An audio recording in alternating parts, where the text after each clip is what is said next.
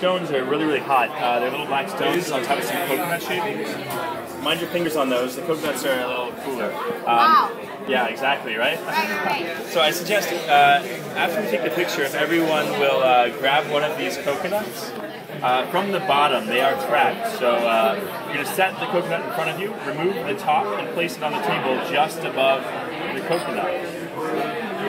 To uh, open up a little surprise for you I don't there. Get it. Wow. Exactly. So you want to lift it by the bottom so it doesn't fall apart. Right. Just minding your fingers because those rocks aren't quite warm. Can you please hold this for a second? Aroma for you. Right there, right there. Wow. Wow. So beautiful. Don't do So anything. the uh, idea here, um, there's not a lot of tradition of composed desserts in Thailand. What they do have is really nice, sweet little snacks on the streets. So uh, a few of these elements of the snacks in Thailand have been incorporated together uh, into one of these coconut shells. Uh, on your little sidecar here, I'm scooping uh, coconut water ice. Uh, the idea with the ice, the texture is meant to evoke the texture of uh, many of the ices in Thailand. They don't have uh, Pacojets or liquid nitrogen, so, uh, so they have a, a little bit of uh, texture to their ices.